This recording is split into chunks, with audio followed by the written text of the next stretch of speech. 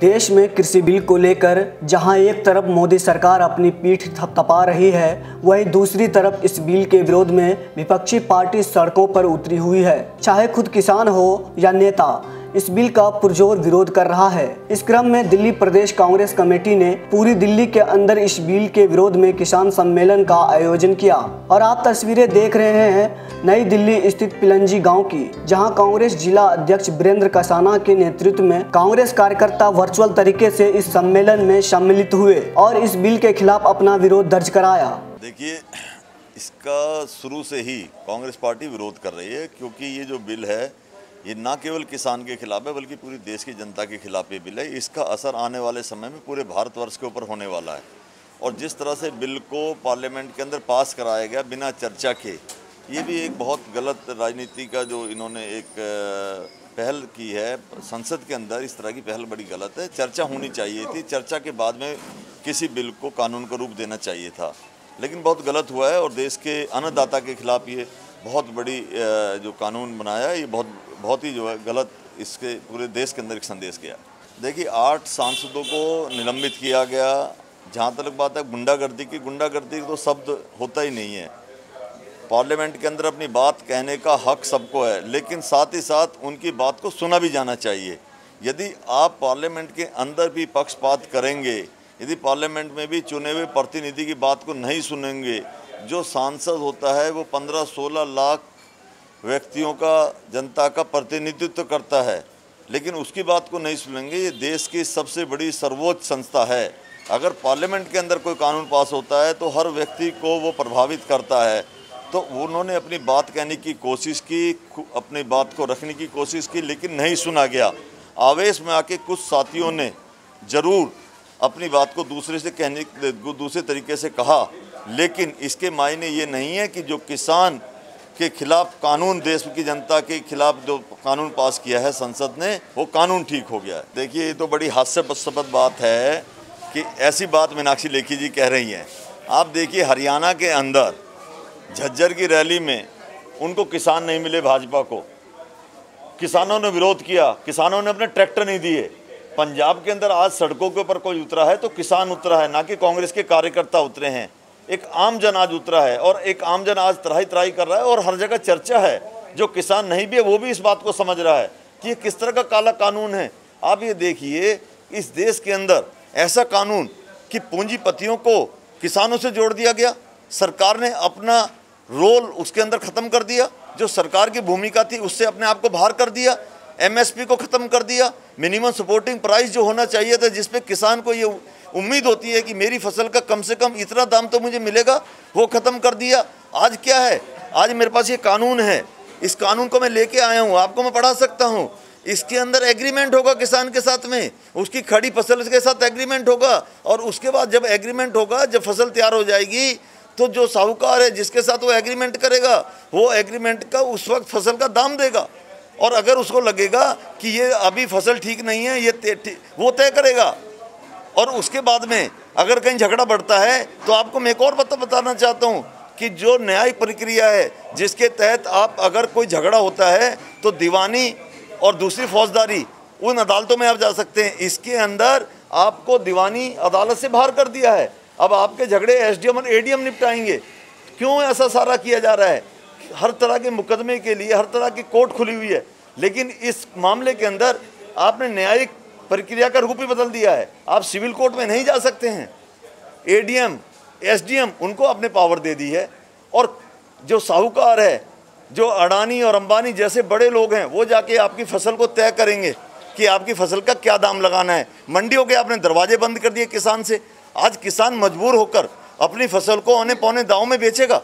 और उसके बाद में अपने ही खेतों में, आने वाले समय में जो आज किसान है, जो जमींदार है, वो कल को मजदूर होकर रह जाएगा। एमएसपी के क्या मायने होते हैं? न्यूनतम समर्थन मूल्य के क्या तो मायने होते हैं? एमएसपी का सरकार ने। मैं वो वो वो मैं बताना चाहता हूँ कि जो रेट बढ़ाए हैं एमएसपी का जो कानून है वो उन्नीस सौ सड़सठ में इंदिरा गांधी जी जब माननीय इंदिरा गांधी जी जवाहरलाल नेहरू जी के बाद में जब सरकार थी तो एक एमएसपी की शुरुआत वहाँ से हुई थी।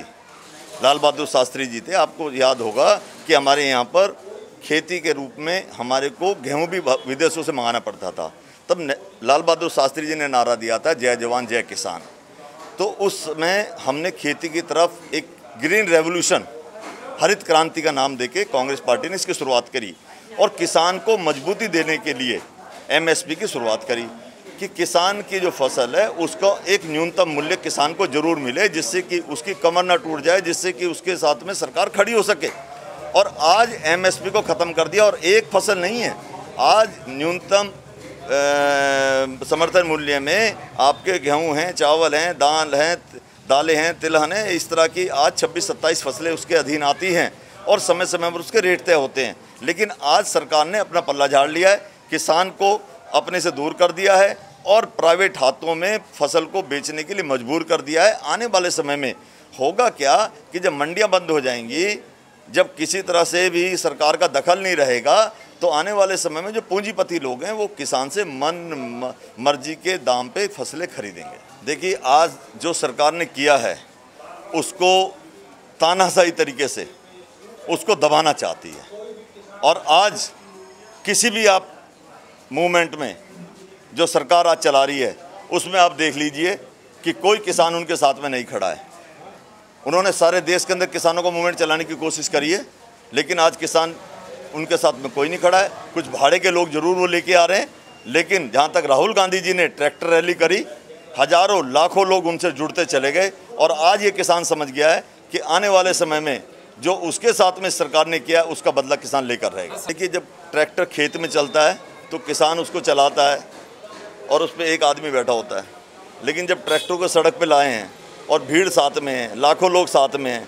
और राहुल जी इतने लोकप्रिय नेता हैं कि लाखों लोग उनको देखना चाहते हैं उनसे मिलना चाहते हैं। तो उनकी सुरक्षा की दृष्टि से उसको ऐसा बनाया गया विपक्ष का जो आरोप है निराधार है। एक आरोप ये भी है कि अम्बाला से टिकट ट्रैक्टर को लाकर डीएनडी पे फूक दिया गया नंबर अम्बाला का निकला बाद में। देखिए सरकार का तरह तरह से ध्यान आकर्षित करने के लिए कई तरह के काम करने पड़ते हैं।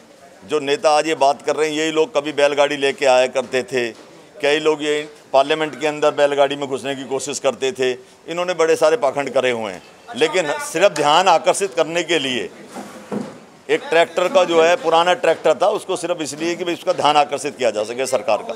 एक बात और पूछना चाहता हूँ कि एमएसपी का सपोर्ट करना चाहते हैं। सरकार ये कह रही है कि एमएसपी जहाँ मिनिमम सेलिंग प्राइस हुआ करता था मंडी में आके वो मैक्सिमम सेलिंग प्राइस हो जाता था। तो मैं आपसे पूछना चाहता हूँ क्या आप का सपोर्ट करते हैं। बिल्कुल करते हैं। एमएसपी का सपोर्ट इसलिए करते हैं कि किसान को सुरक्षा उसी से दी जा सकती है। ऐसा नहीं था। आज भी किसान उसी मंडी व्यवस्था में ही खुश है। आज भी किसान को कम से कम ये तो पता है कि मेरा व्यवसाय मेरा जो प्रोड्यूस है मेरा जो खाद्यान्न है मेरी जो उत्पाद है उसको मैं कहीं बेच सकता हूँ जाके। एक जगह तो तय है। अभी जो नया कानून है उसमें तो व्यापारी सौदागर, वो जाएगा और वो तय करेगा कि आपके दाम ये हैं, मैं ये दूँगा। आपको कुछ और कहीं देने हैं तो और देख लीजिए। और ये कुछ लोग होंगे, बड़े पूंजीपति लोग, जो मंडियों में जाने की बजाय किसान से वहीं पर जाके भाव करेंगे और उसके बाद में फिर इनको केसेज में उलझाएँगे कि किसान के पास में इतना कहाँ समय है और इतना कहाँ उसके अंदर समझ है, इतना कहाँ उसके पास पैसा है कि पूंजीपति से लड़ पाएगा। क्या वो अपना फ़सल पैदा करेगा, उसको बेचेगा, अपने बच्चों के लिए खाद्यान्न उत्पादन करेगा या कोटों के चक्कर लगाएगा? तो ये किसान को फंसा देंगे और अंत तो गत्वा होगा ये कि वो किसान जो है, जो मालिक है अपनी फ़सल का, जो अपने खेत का मालिक है, वो उसमें आने वाले समय में मजदूर बनकर रह जाएगा। देखिए, जो किसानों का कानून आया है, ये जब इसे हम व्यापक तौर पे इसकी समीक्षा करेंगे और पढ़ेंगे तो इसमें बहुत सारी कमियाँ हैं। मुख्य रूप से जो किसानों का मिनिमम सपोर्ट प्राइस जो होता था, वो राइटिंग में नहीं सरकार दे रही। जब पार्लियामेंट में प्लेस किया गया और रखा गया और सभी ने इस पर चर्चा की कि जो कमियाँ हैं उनको दूर किया जाए तो रूलिंग पार्टी ने, मोदी सरकार ने पूरी तरीके से लोकतंत्र की हत्या कर दी और उस पर कोई भी चर्चा नहीं होनी थी, ना वोट का डिवीज़न किया। अब, आम जनता और आम जनमानस और किसान जब तक पूरे इस किसान बिल को समझेगा नहीं तो इसकी कमियों को कैसे जान पाएगा? कांग्रेस पार्टी हमारे राहुल गांधी जी ने यही इसकी जो कमियाँ हैं, मुख्य रूप से मिनिमम सपोर्ट प्राइस जो है, उसको बताने के लिए कि अगर नहीं होगा तो किसानों के साथ किस कैसे शोषण किया जाएगा? और नंबर दो, इसमें बहुत सारे जैसे कानून की अभी बताइए हमारे अध्यक्ष कसाना जी ने, कि अगर हमारे यहाँ पर 80 परसेंट जो किसान हैं, वो दो बीघा से लेकर पाँच, सात, दस बीघा तक छोटे किसान हैं। जब एक अडानी और अंबानी जैसा व्यापारी उनके साथ एग्रीमेंट करेगा, चाहे वो कम दाम पर करे या ज़्यादा पे करे या जो भी करे तो मजबूर हो जाएगा किसान क्योंकि वो कहीं भी नहीं जा सकता। एसडीएम के पास जाएगा तो सबको पता है कि आज की डेट में सुनवाई किसकी होती है। ताकतवर आदमी की होती है, गरीब किसान की होती है। तो ये शोषण शुरू हो जाएगा। और इसमें मुख्य रूप से एक चीज़ और देखी गई है, जो किसानों के अलावा भी आम जनता और हम सब कैसे अफेक्ट होंगे। इसेंशियल कम्योडिटीज़ में पहले सरकार ने रखा हुआ था कि एक निश्चित मात्रा के अंदर आप ना स्टोरेज कर सकते हैं सामान को। आप देखते हैं कि प्याज का दाम अगर एक साल में एक महीने के लिए बढ़ जाता है तो कितने करोड़ों रुपए की गेम होती है।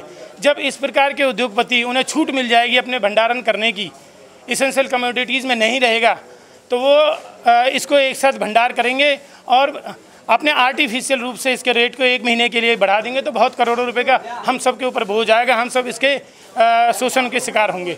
किसानों के अलावा यह सब आम जनता को पूरा जब इसको पढ़ा जाएगा तो पता लगेगा कि किस तरीके से सरकार ने ये एक छलावा किया है, केवल अपने कुछ मित्र उद्योगपतियों को फ़ायदा देने के लिए। देखिए, कांग्रेस ने वादा किया था किसानों के लिए तीन स्टेट में, राजस्थान, छत्तीसगढ़ और अपना मध्य प्रदेश।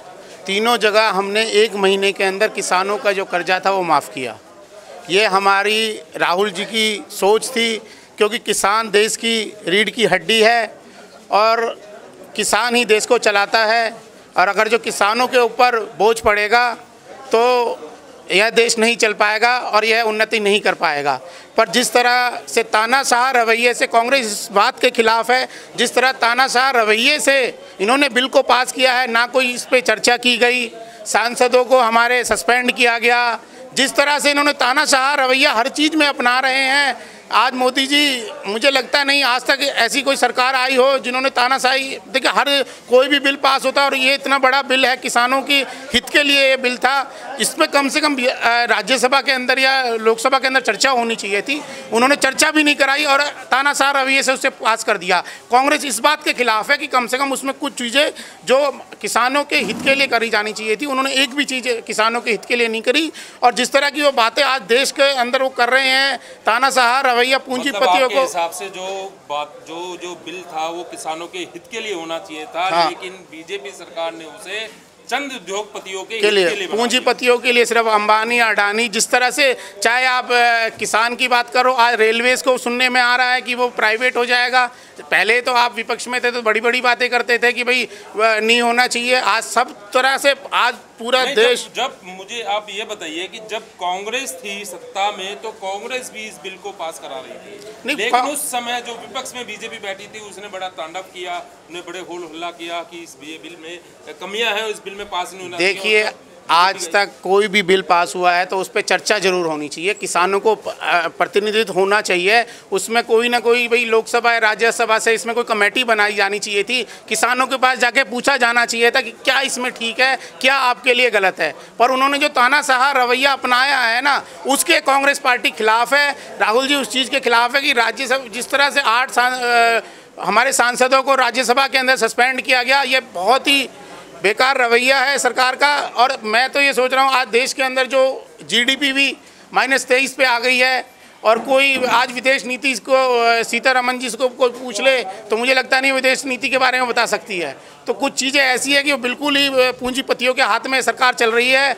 हम इस बात के खिलाफ कांग्रेस पार्टी करती है कि जिस, हम पूंजीपतियों के खिलाफ है, आप सरकार चलाइए, एक तरह से आप मतलब पूंजीपतियों को ही पूरा देश दे देंगे तो कैसे होगा? ये तो पुराने वाला हाल आ जाएगा।